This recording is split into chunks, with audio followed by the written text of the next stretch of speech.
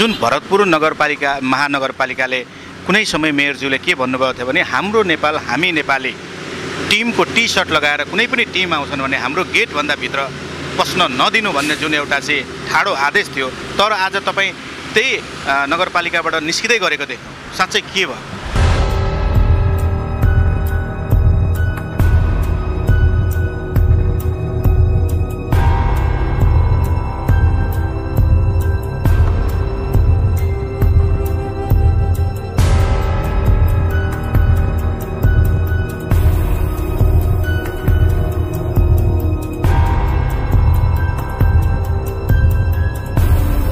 हामी पीडित परिवारलाई पनि भेट्यौँ प्रहरी कार्यालयमा हामी एसपी ओम सरलाई पनि भेट्यौँ। पनि पीडित पक्षको परिवारै अहिले चाहिँ एकदमै तनावमा भएको पायौँ। एकदमै उहाँहरूको स्वास्थ्य अवस्था पनि अलिकति पहिला हत्या नै भनेर आरोप लगाइरहेको शालिग्राम पुडासेनीको केस। आज उपमेयर साहब पार्वती शाह ठकुरीजीसँग बसेर हामीले उहाँको कार्यकक्षमा कुरा गऱ्यौँ। एम्बुलेन्सले धेरै पैसा लिएको छ। त्यसपछि हस्पिटलमा बेड चार्जहरू असाध्यै महँगो छ। दर्शकबिन नमस्कार। म हरिप्रसाद पाठक तपाईँहरू हेर्दै हुनुहुन्छ मेकिङ नेपाल। आज हामी वडा नम्बर उन्नाइसमा जुन सीता भण्डारीको मृत्यु हुन्छ साँच्चै त्यो मृत्युको कारण के हो किन भयो त्यही खोजको लागि हामी काठमाडौँदेखि आयौँ र हामीसँग विभिन्न व्यक्तिहरू पनि हुनुहुन्छ। जो यो विषयमा चाहिँ आवाज बनेर आइराख्नु भएको छ साँच्चै के रहेछ त्यहाँ भएको केस र उहाँहरू कहाँ कहाँ जानुभयो न्यायको लागि आज उहाँहरूले बुलन्द आवाज त्यो न्यायको लागि उठाउनु भएको छ कि छैन भन्ने सवाल गर्नको लागि हामी यो ठाउँमा उपस्थिति भइसकेका छौँ। यहाँहरू सम्पूर्णलाई हाम्रो कार्यक्रममा स्वागत छ। धन्यवाद। धन्यवाद अ, म जिता बराल सुशासनको लागि अभियान हाम्रो नेपाल हामी नेपाली भ्रष्टाचार विरुद्ध महाअभियान म स्वास्थ्य शिक्षा विभाग हेर्छु संस्थापक सदस्य। तपाईँ आज स्वास्थ्य शिक्षा प्रमुख पनि हुनुहुन्छ केन्द्रबाट पनि हुनुहुन्छ र तपाईँलाई हामीले भरतपुर नगरपालिका उन्नाइस नम्बर वार्डमा गएको पनि देख्यौँ त्यहाँ जहाँ एउटा घटना घट्छ। जुन एउटा सविता भण्डारी भन्ने व्यक्ति आज मृत फेला परेकी अवस्थामा हुनुहुन्छ। साँच्चै तपाईँले उहाँको लागि कस्तो कस्तो पहली कदम गर्नुभयो? कहाँ कहाँ जानु? धन्यवाद। घटना नघट्नु थियो घट्यो। हाम्रो अभियानमा पनि उहाँहरूले सहयोगको अपेक्षा राख्नुभयो। हामीले सहयोग उहाँहरूले अपेक्षा नगर्दा पनि हामीले यसको दबाब सामाजिक सञ्जालहरूबाट हाम्रो चितवनको स्थानीय अभियन्ताहरूले दिनुपर्ने सहयोगहरू गरिराख्नु भएको थियो। र अहिले हामी यो टिङ सिङ्गो टिम नै हामी यहाँ आइपुग्दा हामी पीडित परिवारलाई पनि भेट्यौँ। हामी एसपी कार्यालय चितवनको प्रहरी कार्यालयमा हामी एसपी ओम सरलाई पनि भेट्यौँ। यो विषयमा हामी सम्बन्धित वडा उन्नाइस नम्बरको वडा कार्यालयमा पनि गयौँ।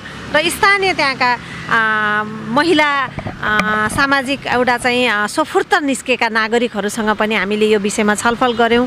केही हामीले राख्नुपर्ने कुराहरू राख्यौँ सहजीकरण गऱ्यौँ। एकातिर चेतनाका विषयलाई यो अभियानले उजागर गर्ने हाम्रो योजना बमोजिम हामी त्यो पनि गरिरहेका छौँ भने अर्कोतिर नेपाल सरकारले एउटा यसलाई अनुसन्धानको दायरामा लिइसकेको छ र अदालतमा यो केस गइसकेको भन्ने हामीलाई जानकारी आइसकेपछि अब अदालतको निर्णयसम्म हामी कुर्छौँ। हाम्रो अभियानले यो विषयमा अत्यन्तै संवेदनशील रूपले चाहिँ अध्ययन गरिरहेको छ हेरिरहेको छ र आवश्यक परे भने हामी कानुनी परामर्शसहित अझै पीडित पीडक पक्षभन्दा पनि पीडित पक्षको परिवारै अहिले चाहिँ एकदमै तनावमा भएको पायौँ। एकदमै उहाँहरूको स्वास्थ्य अवस्था पनि अलिकति सहज देखिएको छैन। त्यस कारण उहाँहरूलाई पनि हामीले परामर्शसहित स्वास्थ्य सेवाको लागि पनि हामी सहजीकरण र सहयोग गर्ने हामीले प्रतिबद्धता व्यक्त यो प्रतिबद्धता जनाउँदै गर्दा र तपाईँले म यो यो ठाउँमा गएँ भन्दै गर्दा साँच्चै सरिता भण्डारीले न्याय पाउँछिन् जस्तो लाग्छ तपाईँलाई? एकदमै पाउँछिन् जस्तो लाग्छ। किनभने हामीले यही चितवनमा हिजो यस्तै प्र प्रकृतिको भनौँ यस्तै प्रकृतिको दुरुत्साहन मुद्दा पहिला हत्या नै भनेर आरोप लगाइरहेको शालिग्राम पुडासेनीको केस हामीले नै हाम्रै अभियानले त्यो विषयमा हामी धेरै सडकदेखि अदालतसम्म हाम्रो अभियानको चाहिँ सम्पूर्ण परिचालन भएको थियो। हामीले सहयोग गरेका थियौँ र हामीले न्याय पाएका छौँ। हामीले एउटा उपलब्धि पनि हामीले अनुभव पाएका छौँ। त्यस कारण म त एकदमै ढुक्क छु। हाम्रो साथीहरू एकदमै ढुक्क छौँ। न्याय पाइन्छ। यदि कहीँ कतै प्रभाव भयो दबाब भयो कसैको चाहिँ कुनै प्रकारको चाहिँ चलखेल भयो र पीडित पक्षले न्याय नपाएको अनुभूति भयो भने यो केसलाई फेरि हामी फर्दर लड्नको लागि पनि हाम्रो अधिवक्ताहरूले सहयोग गर्नुहुन्छ। त्यो चाहिँ आम नागरिकलाई हाम्रो अभियानले गर्न सक्ने भूमिका खेल्न सक्ने भूमिका चाहिँ जानकारी गराउन चाहन्छु। हजुरको। हस् धन्यवाद सर्वप्रथम त पत्रकार मित्र हजुरलाई। मेरो नाम भरत पोखरेल। सुशासनका लागि हाम्रो नेपाल हामी नेपाली केन्द्रीय सदस्य म। जस्तै तपाईँ केन्द्रीय सदस्य पनि भन्नुभयो तपाईँलाई आज हामीले भरतपुर महानगरपालिकामा जाँदै गरेको अवस्थामा देख्यौँ। जुन भरतपुर नगरपालिका महानगरपालिकाले कुनै समय मेयरज्यूले के भन्नुभएको थियो भने हाम्रो नेपाल हामी नेपाली टिमको टी सर्ट लगाएर कुनै पनि टिम आउँछन् भने हाम्रो गेटभन्दा भित्र पस्न नदिनु भन्ने जुन एउटा चाहिँ ठाडो आदेश थियो तर आज तपाईँ त्यही नगरपालिकाबाट निस्किँदै गरेको देख्यौँ साँच्चै के भयो? सधैँ एउटै परिस्थिति रहन्छ भन्न सकिँदैन। हिजोका दिन उहाँले त्यो शब्द प्रयोग गर्दै गर्दाखेरि के कुन परिस्थिति थियो? होइन आज साँच्ची नै यो सुशासनका लागि हाम्रो नेपाल हामी नेपाली देशकै लागि लडेको हो राष्ट्रकै लागि लडेको भन्ने उहाँलाई सायद मनन भयो होला। होइन त्यसै कारणले गर्दा आज उपमेयर साहब पार्वती शाह ठकुरीजीसँग बसेर हामीले उहाँको कार्यकक्षमा कुरा गऱ्यौँ। अति सान्दर्भिक शब्दले उहाँले सान्दर्भिक कुराहरू राख्नुभयो। होइन हामीले कुरा राखेका थियौँ। जुन सविता भण्डारीको केसमा के भइरहेको छ? सविता भण्डारी साँच्चै नै अन्यायमा पर्नु भएको छ भने उहाँले न्याय पाउनुपर्छ। यो एउटा चाहिँ कानुनी उसको चाहिँ तपाईँ प्रमुख पनि हुनुहुन्छ यसमा न्यायिक प्रमुख हुनुहुन्छ। न्यायिक प्रमुख भएको नाताले गर्दा तपाईँले चाहिँ यसमा कसरी हेर्नु भएको छ भनेर हामीले केही समेटेर उहाँलाई क्वेसन गर्दाखेरि उहाँले भन्नुभयो न्याय मरेको छैन हामीले गर्नुपर्ने ठाउँमा हामीले गरेका छौँ। यो केस अदालत पुगिसकेको छ। कुनै पनि राजनीतिक दबावमा पर्दैन यो। तपाईँहरू ढुक्क हुनुहोस् तपाईँहरू यसमा चाहिँ दुविधा रहनै पर्दैन। हामी यसलाई चाहिँ पक्कै नै न्याय अन्यमा परेको मान्छेले न्याय पाउँछ। भनेर उहाँले हामीलाई प्रतिबद्धता दिनु त्यो जनाउँदै गर्दा तपाईँ मेयर साहबलाई चाहिँ भेट्नुभयो। मेयर साहब अति बिजी हुनुहुँदो रहेछ। कोभिडको बेला पनि छ। एकदमै बिजी भएको कारणले गर्दाखेरि अब यो नगरसभा पनि हुँदैछ। नगरसभा पनि भइरहेको र उहाँ एकदम व्यस्तताको कारणले गर्दाखेरि हामीले अहिले मेयर साहबलाई भेटेनौँ। कुनै दिन समय यो कोभिड पछाडि हामी मेयर साहबलाई पनि पक्कै भेट्नेछौँ। र यसरी नै भरतपुर महानगरपालिकाको गतिविधिको विषयलाई लिएर हामीले उहाँलाई रिपोर्ट गर्नेछौँ। र त्यति बेला उहाँले के जवाफ दिनुहुनेछ त्यति बेलाको कुरा हुनेछ। र अर्को कुरा हामीले उपमेयर साहबसँग एम्बुलेन्सको कुरा निकाल्यौँ अब जुन स्वास्थ्य कर्मी अ, बिरामीहरूले केसहरूले चाहिँ कतिसम्म धेरै महँगो र तिरेर बिरामीहरू आउनु परेको छ हस्पिटलमा आउनु परेको छ यो के भएको छ भनेर हामीले केही कुरा गुनासो राख्दाखेरि उहाँले भन्नुभयो हाम्रो तिनवटा एम्बुलेन्स खटिएको छ एउटा शारदा नगर एउटा तल के नगरपालिका ओडामा भन्नुभएको थियो र एउटा भरतपुरमा बस्छ एम्बुलेन्स हामीले हाम्रो एम्बुलेन्सले एक रुपियाँ पनि शुल्क लिएको छैन यदि एक रुपियाँ शुल्क लियो भनेदेखि त्यो खबर हामीलाई गर्नुहोस् हामी शुल्क लिँदैनौँ। हामी नागरिकको लागि उत्तरदायी छौँ। हामी जहिले पनि नागरिकको उत्तरदायीमा हामी जहिले पनि काम गर्नेछौँ। मेरो फोन चौबिसै घन्टा फोन हुनेछ र तपाईँहरूले सम्पर्क गर्न सक्नुहुन्छ भनेर उहाँलाई उहाँले हामीलाई जुन कुरा दिनुभयो त्यसले हामी धेरै खुसी भयौँ र आज महानगर भरतपुर महानगरपालिकाभित्र आएर उपमेयरसँग बसेर यी दुई चार शब्द कोभिडको विषय लिएर बाढी पीडितको विषय लिएर र के अरे सविता भण्डारीको विषयलाई लिएर चाहिँ कुरा राख्दाखेरि उहाँले दिएको पोजिटिभ कुराले हामीले पनि केही सिक्नुपर्छ कि पक्कै पनि यो देशमा न्याय छ न्याय मरेको छैन कानुन छ कानुन मरेको छैन कानुनले पक्कै पनि हामीलाई सहज र स सहजीकरण बनाउँछ भन्ने कुरा हामीले आज यो पाठ सिकेका छौँ। हजुरको परिचय। धन्यवाद। मेरो नाम नारायण बराल हो। म चितवन हाम्रो नेपाल हामी नेपाली भ्रष्टाचार विरुद्धको महाअभियान चितवन जिल्ला कार्य समितिको म सङ्गठन विभाग प्रमुख हो। तपाईँ चितवन जिल्लाको सङ्गठन विभाग प्रमुख भन्दै गर्दा आज सविता भण्डारीको केस घट्दै गर्दा र तपाईँलाई हामीले यो नगरपालिकामा देख्दै गर्दा साँच्चै तपाईँको भूमिका के रहन्छ? सविता भण्डारी जो आज मृत आत्मा बनिसक्नु भएको छ उहाँलाई कस्तो खालको न्याय दिनुहुनेछ? तपाईँ र तपाईँको टिमले। पक्कै पनि हामी दोषीलाई कारवाही हुनुपर्छ निर्दोष छुट्नुपर्छ भन्ने हाम्रो मान्यता रहनेछ। यदि प्रशासनले यसलाई उथल पुथल गरेर न्याय दिने मान्छेलाई न्याय नदिएर दोषी मान्छेलाई उम्काउने चाहिँ प्रयास हुन्छ भने यसमा हामी सशक्त रूपले चाहिँ लाग्नेछौँ।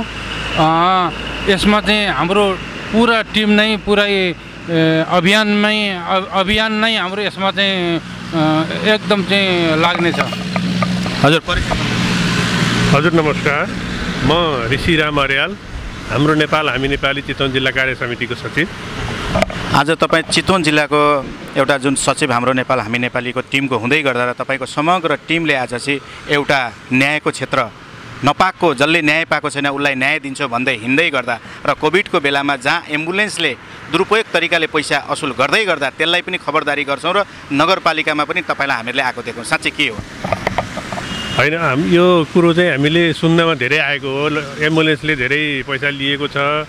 त्यसपछि हस्पिटलमा बेड चार्जहरू असाध्यै महँगो छ। निम्न स्तरको मान्छेहरूले उपचार गर्नै नसक्ने अवस्था छ भन्ने हामीले सुन्नमा आएका थियौँ र त्यही कुरो आज हामीले राख्यौँ उपमेयर समक्ष। र उहाँले चाहिँ त्यो कुरो हामीलाई प्रश्न पार्नुभयो। अब नि शुल्क तिन ठाउँमा चाहिँ भरतपुर महानगरपालिकाको तिन ठाउँमा शारदानगर शिवनगर र महानगर गरेर तिन ठाउँमा चाहिँ एम्बुलेन्सको व्यवस्था हामीले नि शुल्क गरेका छौँ। कसैले चर्को शुल्क लिएको छ भने हामीलाई खबर गर्नु भन्ने किसिमको एउटा कुरो हामीलाई आश्वासन दिनुभयो। अब यदि यो साँच्चै नै अब उहाँले त्यो गरिरहनु भएको छ भने त्यो यो कुरा स्वागतयोग्य छ र भोलि हामीले कतै खोज्दै जाँदा यस्तो कुरो भेटिएन भने फेरि हामी पनि यो कुरालाई लिएर फेरि उठाउनेछौँ। हजुर। म शम्भु अधिकारी। म यस उसको सहसचिव।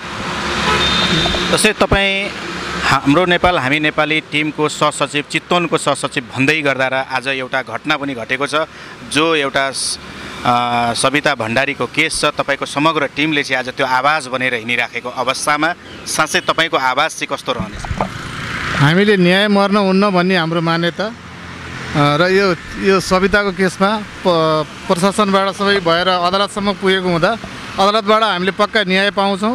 न्याय दिलाउनुपर्छ दिनुपर्छ भन्ने हाम्रो मान्यताले हामीले अहिले बाढी बढी त्यसरी उल्लङ्घन नगरिकन हाम्रो आवाजहरूलाई अन्यायले न्याय पाउनुपर्छ भनेर हामीले आवाज उठाइराखेका छौँ। सम्भव हामीलाई जहाँसम्म लाग्छ अदालतले सही निर्णय गरेर सवितालाई न्याय दिलाउँछ। हाम्रो त्यही मान्यता छ। हजुर नमस्ते मेरो सविता पौडेल। म यही हाम्रो नेपाल हामी नेपाली अभियानको सदस्य छु अहिले। तपाईँ पनि यो चितवन जिल्लाको एउटा चाहिँ हाम्रो नेपाल हामी नेपालीको सदस्य पनि र तपाईँ एउटा चाहिँ अहिले जुन सविता भण्डारीको केस अहिले जुन एउटा मृत्युवरण गरेको अवस्थामा चाहिँ उहाँ अहिले मृत्युवरण त गरिसक्नु भएको छ तपाईँले पनि एउटा आवाज बनेर एउटा महिलाको आवाज बनेर पनि गइराख्नु भएको अवस्था छ र साँच्चै तपाईँको भूमिका त्यो न्यायको लागि कस्तो खालको आवाज हुनेछ जो महिलाले उठाउनु पर्ने र महिलाले पाउनुपर्ने न्याय त्यो आवाजले पाउनेछ कि छैन? त्यो अवश्य पनि पाउँछ। जबसम्म एउटा निर्दोष नारी होइन महिला मरिरहेको छ त्यसमा जबसम्म हामीलाई न्याय कार्यालयले होइन एउटा सन्तुष्टि पुरा अब सबैलाई समग्रमा सबै कुरा लिइरहँदा होइन सबै ठाउँबाट हामीलाई अब मेयरले दिनु यहाँको उपमेयरले दिनुभएको छ त्यहाँको वडा कार्यालयको त्यहाँको बासिन्दासँग हामी सबै कुरा बुझ्दै जाँदाखेरि जुन मृतक एउटा निर्दोष नै छ जस्तो हामीलाई लागिरहेको छ जब उहाँ निर्दोष हुनुहुन्छ भने उहाँले न्याय कार्यालय उहाँलाई अवश्य नै दिएला होइन। न्यायका पाटाहरू त धेरै नै छन् तर पनि अब यदि न्याय कार्यालय नै कुनै अब अनुसन्धानको क्रममा कुनै त्रुटि भएछ भने यसलाई हामीले फेरि तपाईँहरूले राम्रोसँग हेरिदिन्छौँ हामीले माग राखेर निर्दोषलाई हामीले अवश्य पनि हामी न्याय दिन्छौँ हामी दिलाएर छौँ यसलाई हामीले नारी आवाज चाहिँ कहिले पनि दबेर बस्न चाहिँ दिँदैनौँ। निर्दोष पीडितलाई हामी अवश्य पनि न्याय दिने पक्षमा हामी जहिले पनि तयार छौँ। ल धन्यवाद ल।